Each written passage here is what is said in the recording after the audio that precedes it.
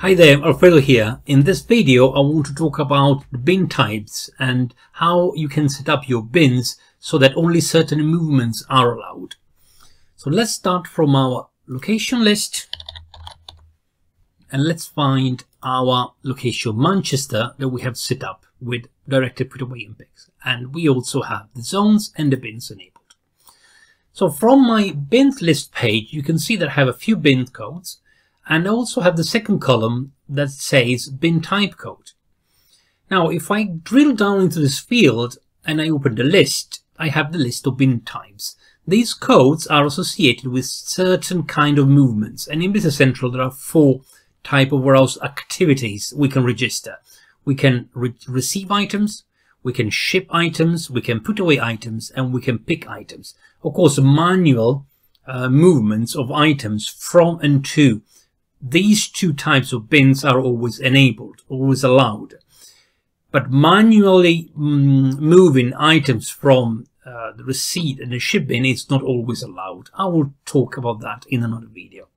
So let's go through the list of these bin types and see what these means.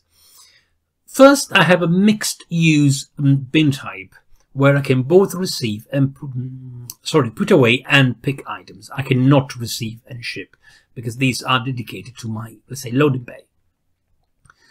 Second, I have a pick face bin, and in this pick face bin, I can only pick item. I cannot receive or put away items directly into it. Uh, this is a typical bin where you have loose items, small boxes or single items that you pick. And this kind of bins cannot, um, again, receive directly stock, but it can you can only replenish them through um, through um, warehouse movement. Then I have my receive and my shipment bin type, uh, where only receive movements and shipment movements are enabled. These are my loading bay. Uh, my stock will get into the receive bin when I receive goods through a warehouse receipt, and they will they will go. My items will go to the shipment bin after a pick has been registered. More in another video. Finally, I have a storage bin the storage bin is where you store your goods in larger unit of measure, for example in pallets. And I cannot pick directly from a storage bin. I can only put away uh, items here. Again, how do we take stock out of a storage bin if pick is not allowed? Through um, warehouse movement that, will, that I will cover in another video. So therefore, what I can do now, I can just decide to um, to use um, the, the design of my warehouse and to give my bins a certain bin type.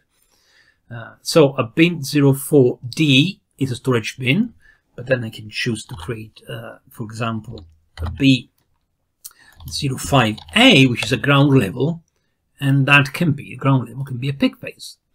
Uh, I can give this one mm, a zone, and then I can choose to, for example, to have this, this 05B and C, which is a mixed use. And again, this can belong to zone A and so on. Lastly, what I want to do, I want to have, for example, a loading bay 01, and my loading bay 01, it's now only the receive bin. And this is also in my loading bay zone that I created before. Likewise, I can have a shipment bay, this time we're going to call it S, SB, a shipment bay 01, and this is um, a shipment bin which is also in my loading bay area. And this is how I can um, use bin type codes and, uh, assign bin, bin type codes to certain bins and now Business Central is set up so that this bin is a pick face therefore I can only pick from here uh, this is a storage bin I can only put away items into this one this is mixed use. I can either receive, I can really put away or pick. This is my loading bay where I can receive items into, and this is my shipment bin that I can use when a pick is registered and goods are waiting into this mm, shipment bay, uh, waiting to be loaded into a vehicle or to a courier. And this is it for bin type codes and warehouse movements. Thanks for watching.